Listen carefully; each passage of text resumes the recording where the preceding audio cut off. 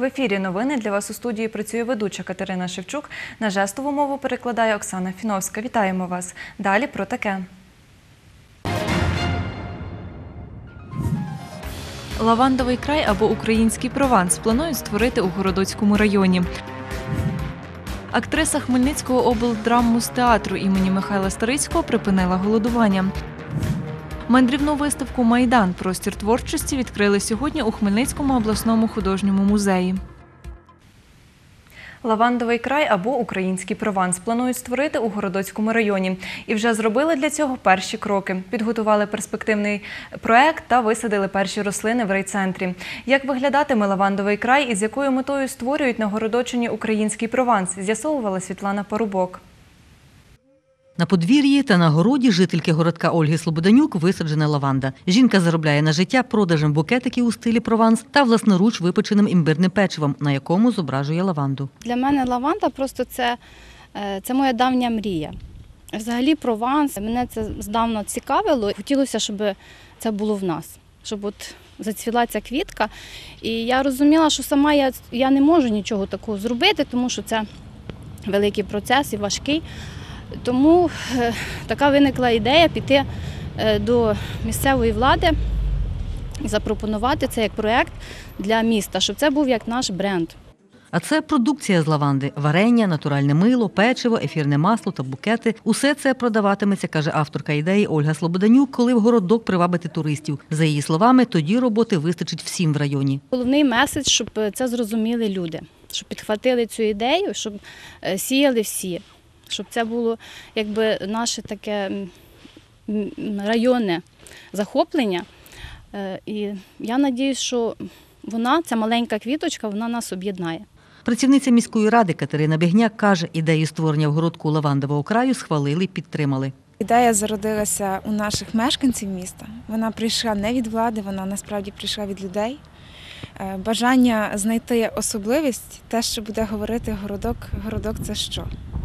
Е, Ми починали з проєктів і виробничих проєктів. Ось це поле площею 4 гектари. Це перше, що бачать люди, які приїжджають у місто Городок.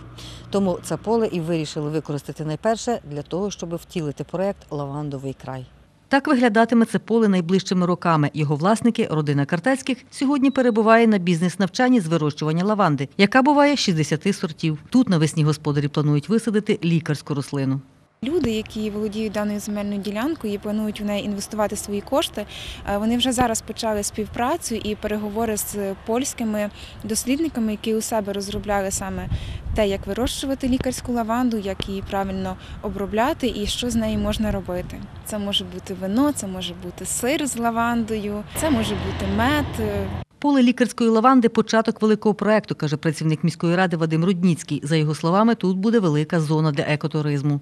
Буде лаванда, е, стиль Провансу. Я думаю, дуже буде гарно проглядатися е, кав'ярня, де люди можуть прийти, гарну каву випити, відпочити з дітками. Е, У нас гарна водойма, гарні е, ліси. Також ми запланували тут е, велодоріжки. Проект створення українського провансу в городку починає втілюватися, каже голова Городоцької райдержадміністрації Олена Матвійцева. Цієї осені засадили лавандою першу локацію центральну вулицю Шевченка. Цю ідею я повірила. Проект не сьогоднішній. Ви розумієте, це на майбутнє.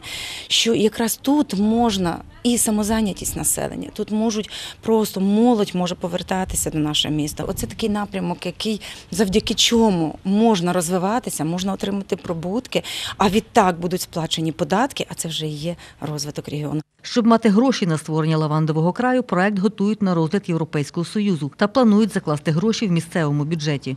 Це будуть кошти бізнесу, це будуть кошти органів місцевого самоврядування, а також це будуть кошти зовнішніх е, компаній, зовнішніх донорів. Світлана Поробок, Юрій Чорний. Новини Поділя Центр. Сільськогосподарський ярмарок відбудеться цієї суботи, 10 листопада, в обласному центрі. Розпочнеться торгівля о 8 ранку на вулиці Прибузькій. Про це розповіла начальник управління торгівлі Хмельницької міської ради Руслана Сідлецька.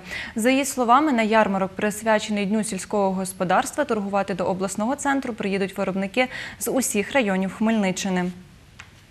Розрахуватися банківською карткою за проїзд у громадському транспорті Хмельницького зможуть пасажири після впровадження у місті системи електронного квитка. У міській раді підписали меморандум з компанією Віза, яка і запровадить цю систему в обласному центрі. Про це повідомив заступник Хмельницького міського голови Андрій Бондаренко. За його словами, розрахунок займатиме кілька секунд. Впровадження електронного квитка відбудеться в три етапи.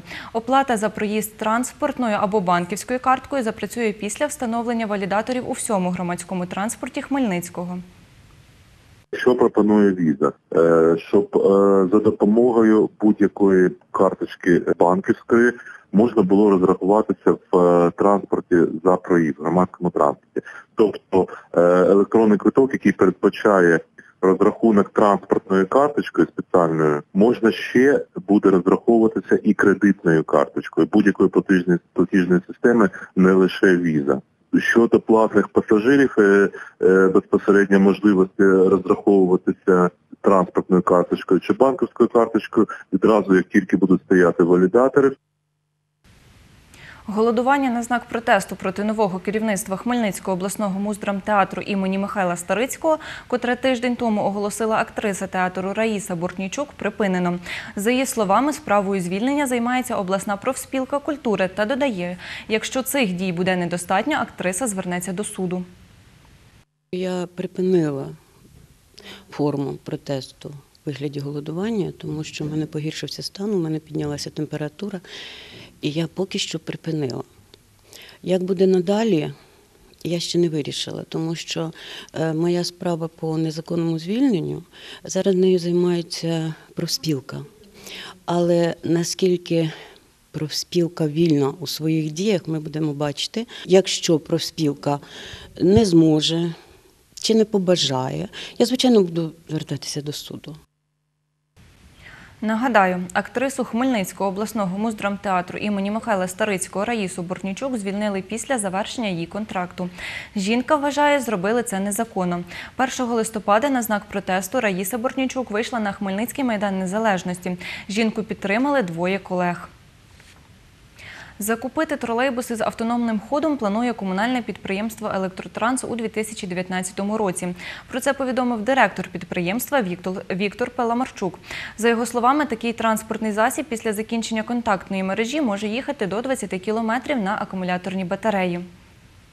Це е, свого роду якби автобус, е, але він на так званих акумуляторних батареях. Е, Сьогодні це вже напевне на часі і його потрібно впроваджувати в життя, тому що будівництво контактних мереж воно набагато дороговартісне, чим придбання е, цих тролейбусів. Щонайменше 5 тролейбусів у 2019 році буде закуплено. Роботи студентів навчально-творчої майстерні графічного дизайну Віталія Шості представили у Хмельницькому обласному художньому музеї. Це мандрівна виставка Майдан Простір творчості. Експозиція складається з календарів та плакатів на тему події на Майдані, а також артбуку з металу. На відкритті мандрівної виставки побувала і наша знімальна група. Подробиці далі у сюжеті. Автограф Майдану, апостоли гідності, календарі та плакати на тему подій Революції Гідності. Це частина студентських робіт навчально-творчої майстерні графічного дизайну Віталія Шості, яку представили у Хмельницькому обласному художньому музеї. Мистецтво плакату, тим більше такого високого професійного рівня, е, такого прогресивного знову ж таки напрямку, воно достатньо рідко у нас демонструється. Це цікаво і для професіоналів, і для людей, для яких важливі і пам'ятні події, які були 4 роки тому на Майдані, в Хмельницькому в тому числі. Юрій Кравчук, учасник Революції Гідності. Три місяці чоловік перебував на столичному майдані, де очолював сотню Хмельниччини. 19 лютого 2014-го Юрія Кравчука поранили. Чоловік каже, добре пам'ятає ті події та додає, виставка Майдан Простір творчості створена, аби нагадати всім про події 2014 року. Саме через отакі виставки е, є змога е, через довший період часу передати саме отей, ту атмосферу, той настрій, який панував. Тому надзвичайно важливу справу е, роблять організатори, і надзвичайно важливо, що вона є рухомою. Що вона сьогодні в Хмельницькому, завтра в Львові, післязавтра в Харкові. Мандрівну виставку експонували у Києві, Одесі та Мелітополі. Хмельницький став четвертим містом, де відбулось відкриття Майдан Простір творчості. Музей Революції Гідності на сьогодні не має власного приміщення е, для експозиції, для формування експозиції. Тому вся наша діяльність практично це організовувати тимчасові виставки, і, зокрема, вуличні і мандрівні. Ця виставка це роботи студентські. Які були написані якраз е, по свіжих слідах, практи- практично і під час майдану, і відразу після майдану. Заступник директора Національного музею Революції Гідності Антоніна Піпко додає, колекцію музею Революції Гідності продовжують поповнювати. Ми дуже всіх запрошуємо, в кого є артефакти, в кого є предмети пов'язані із майданом, е, приносити їх. Е, Ми відповідно док- задокументовуємо пере- передачу таких предметів, і ці е, предмети вже ввійдуть в історію практично. Експонуватиметься виставка Майдан Простір творчості у Хмельницькому обласному художньому музеї до 2 грудня. Дарина Денисенко, Віктор Кривий. Новини Поділля Центр. Сьогодні у Хмельницькому стартувало голосування за проекти громадськості в рамках програми Бюджет участі. Про це повідомила начальник управління економіки Хмельницької міської ради Оксана Новодон. За її словами, голосування триватиме до 22 листопада. Нагадаю, цьогоріч на комісії бюджету участі в Хмельницькій міській раді із поданих 102 проєктів відібрали 28. У 2018 році відбулися певні зміни щодо умов подання проєктів. У нас декілька змін в цьому році здійснилося. По-перше, ми зараз розширили аудиторію реалізації проекту. Якщо раніше міг подати тільки мешканець Хмельницького, то зараз людина, яка мешкає в Хмельницькому, працює в Хмельницькому або навчається в Хмельницькому. Відповідно, підтверджено довідками з місця роботи або довідками з навчання, або паспортом, тобто пропискою. Е, Також ми збільшили бюджет проекту. Якщо раніше було 100 тисяч гривень, то зараз це 150 тисяч гривень. Теж значно розширили можливості реалізації проєктів. І так зараз е, можна е, голосувати вже за 5 проєктів. Буде можливість проголосувати або застосовуючи систему громадський проект Хмельницький, або в відділенні ЦНАПу е, є буде відповідальна особа, яка при вас буде вносити ваші голоси в систему. Наразі це всі новини. Побачимось.